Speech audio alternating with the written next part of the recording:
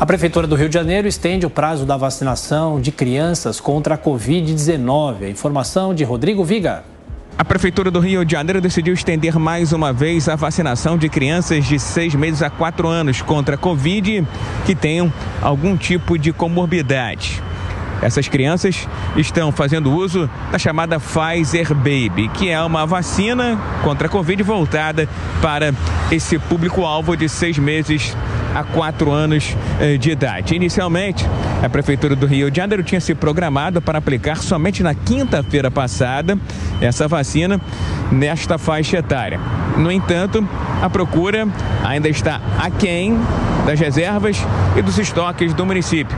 Até agora foram aplicadas cerca de 3.700 doses dessa vacina nesse público-alvo. Chegaram aqui para o Rio de Janeiro nos últimos dias aproximadamente 9 mil doses. Por isso, a Prefeitura do Rio de Janeiro decidiu estender até a próxima sexta-feira a vacinação dessas crianças com comorbidade, com idade entre seis meses e quatro anos.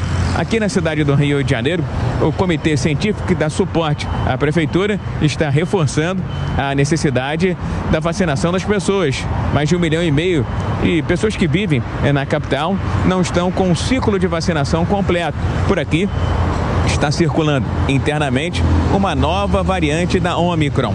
No estado do Rio de Janeiro, o alerta também foi acionado tanto que a Secretaria Estadual de Saúde orientou para que as pessoas voltem a usar máscara de proteção facial em algumas situações, transportes públicos, ambientes fechados e onde há também aglomerações.